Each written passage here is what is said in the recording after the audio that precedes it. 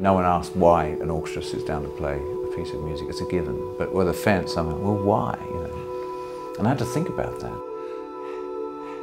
Something about going to another species and interacting with them musically, I think it's helped me think about the outside world in a new way.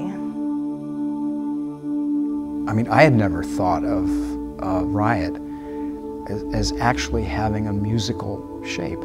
I had not thought of that before. Organizing a clandestine guerrilla army is an unimaginably difficult task. Making more music just didn't seem very urgent. I've become fascinated with noise as the source of music.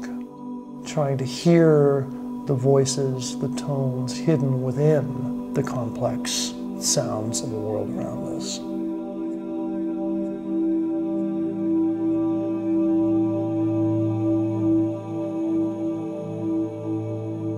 Wonder if, if people are this different and this divided, is there any statement you can make through art that actually would resonate beyond your own tribe?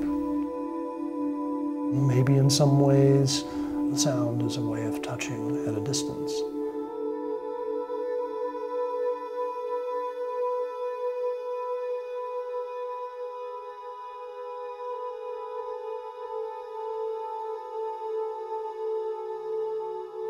I started to look about where this thing could possibly go, where this icon of you know Western music could go.